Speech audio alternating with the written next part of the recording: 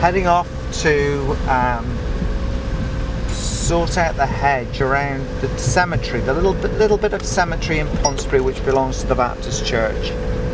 So we're going to go down and at least um, trim the hedge so it's not going onto the pavement and annoying people. I'm pushing the young children onto the road as they go to their school.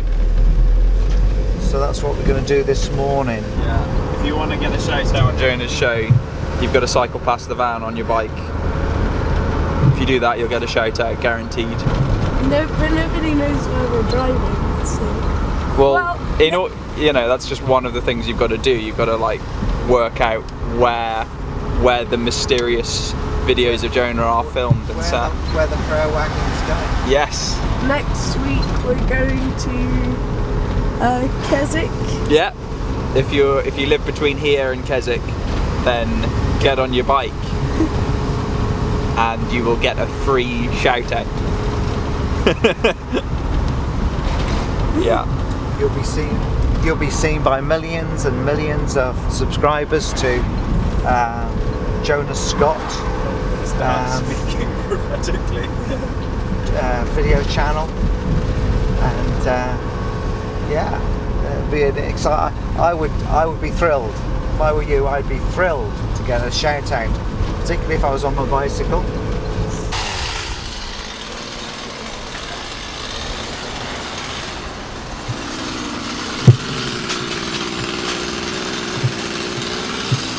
So I was going to go to the post office on my own, but uh, Jonah has to come, and then Dad also has to come because he's got to get some forms for Eliza.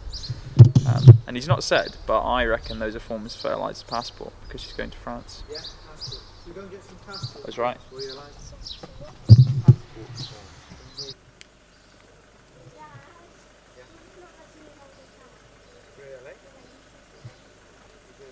Hi guys, sorry about my morning voice, but it's really early here in the UK.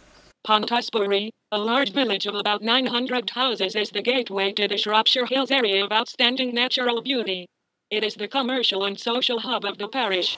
The center of the village has a number of thriving shops, restaurants, takeaways, and public houses, as well as several office premises. St. George's Church is prominent in the middle of the village. Parts of the building date back to the 13th century, but much, including the tower, was rebuilt in the 19th century.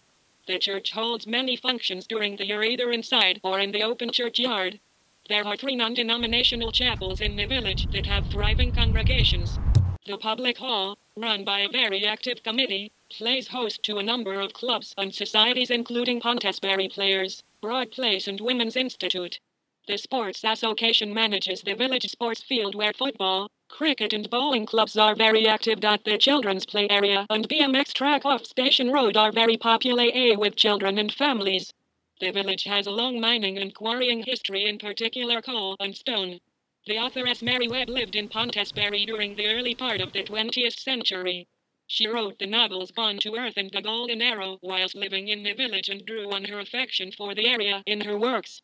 A well-maintained footpath network surrounds the village and is enjoyed by many people, local and visitors.